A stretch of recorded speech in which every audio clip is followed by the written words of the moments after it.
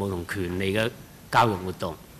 咁通過啲相關嘅教材同埋教學嘅方式呢，咁啊使到啲學生對公民所應具有嘅權利與義務、個人同群體嘅關係呢，同埋相關嘅民主、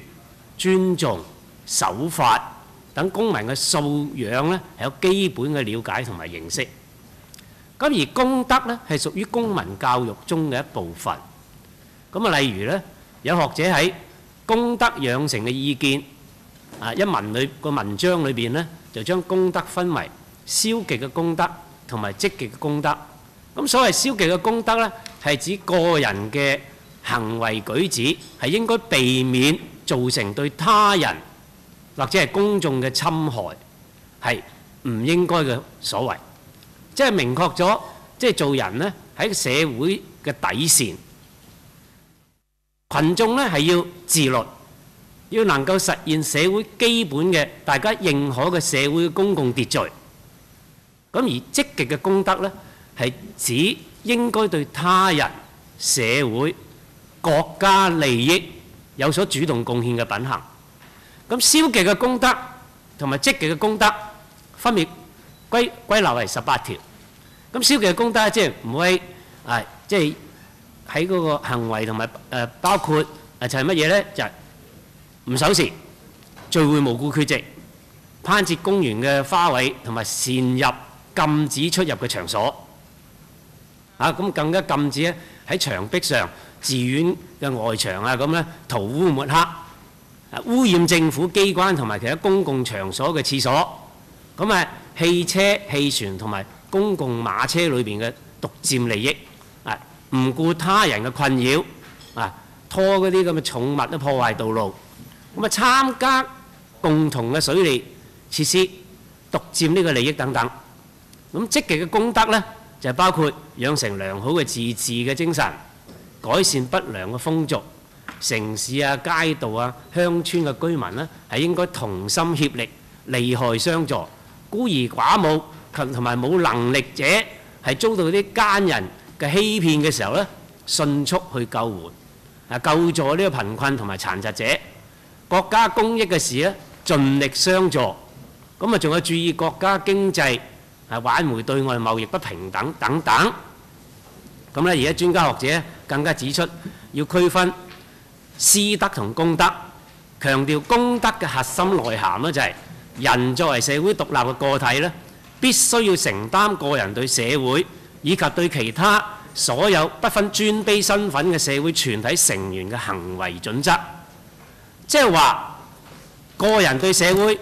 應該承擔嘅義務，從社會嘅實踐效果嚟睇，消極嘅公德比積極嘅公德更具呢個現實嘅意義。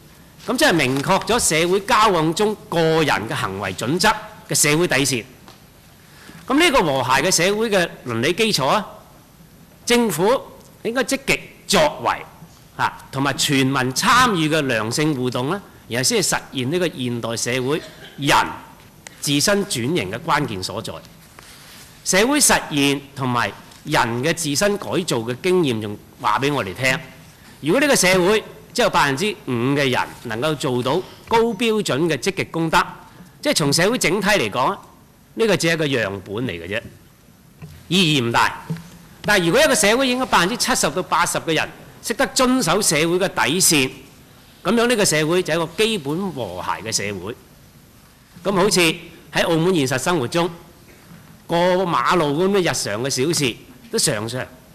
就好多人都唔遵守交通規則而出意外，衝紅燈啊，斑馬線唔讓行人優先通過啊。行人亂過馬路嘅交通事故咧，逐年遞增。咁治安警察局嘅資料顯示咧，喺一四年九個月咧，衝紅燈嘅個案已經有一千七百廿三宗。咁相對比去年同期嘅百分率嘅差距咧，係百分之二十五點一三。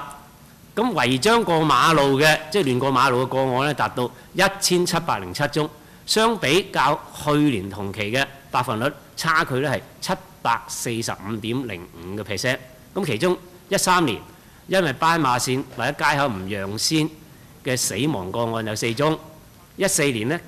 到九月嚇嘅因為斑馬線或者街口唔讓先嘅死亡個案已經達到五宗。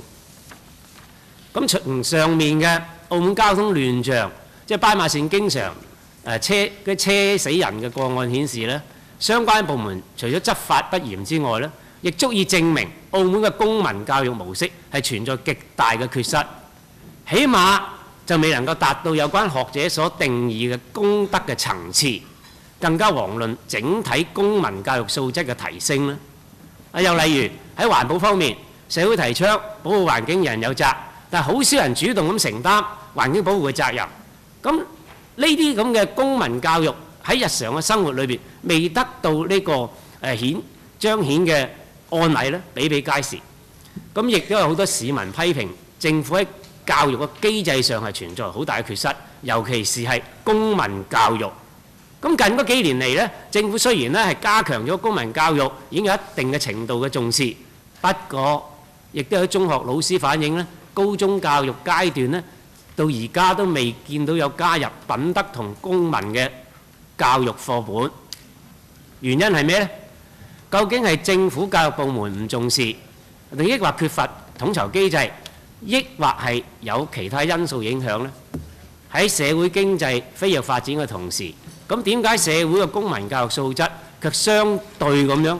倒退呢？咁澳門回歸咗十五年啦，咁行政當局應該係時候對相關嘅公民教育嘅問題咧作出反思同總結。咁市民叫我問一聲行政當局啊，請問而家對當前澳門嘅公民教育嘅現況